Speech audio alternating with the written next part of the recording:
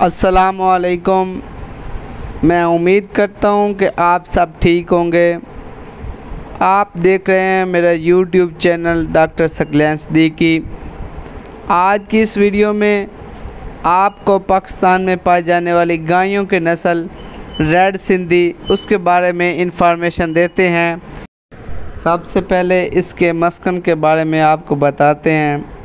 Red Sindhi माह कोस्तान के पहाड़ी सिलसिलों की नस्ल है, जिसमें कराची, ठट्ठा और दादू के अजला आते हैं। इसका आबाई इलाका हैदराबाद के नहरी इलाकों से शुरू होकर सुबह बलुस्तान के ज़िला लसबेलक के इलाकों तक जाता है। इसकी जिस्मानी खद खाल क्या है? इसकी पहचान किस तरह से की जाए? इसकी शक्ल, सूरत किस तरह होती है, उसके बारे में इंफॉर्मेशन देते हैं आपको। ये जानवर, यानी रेड सिंधी, दरमियान जिसामत की नस्ल का है, जिसका रंग सुर्ख है। लसबेला की रेड सिंधी नस्बता गहरे रंग की है। नार के कंधे गहरे रंग के होते हैं। इसका सर बड़ा और पेशानी उभरी हुई होती है।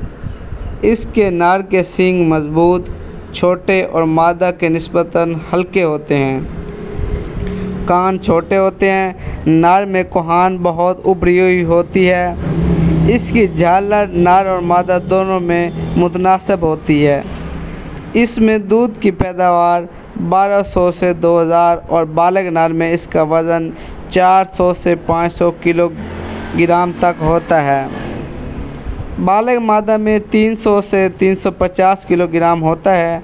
ये जानवर बहुत मज़बूत और सख्त मौसमी हालात का मुकाबला कर सकता है। इनकी मांग पूरी दुनिया में है। इस जानवर की शक्ल सूरत पाकिस्तान की मशहूर नस्ल साहिवाल से भी मिलती जुलती है। साहिवाल का मस्कन जो है, वो पंजाब का मरकज़ी और जनूबी हिस्सा दरिया रावी के और दरिया सतलज के साथ साथ जिसमें फैसलाबाद, साहिवाल और मुल्तान डिवीज़न के अजला शामिल हैं। असल नस्ल के जानवर ज़िला साहिवाल में मिलते हैं। इसी नस्बत से इसका नाम साहिवाल मशहूर हुआ। मैं उम्मीद करता हूँ कि आपको मेरी ये वीडियो पसंद आई होगी। अगर आपको मेरी ये वीडियो पसंद आई है तो इसको लाइक शेयर और बेलकन को दबा दें। शुक्रिया।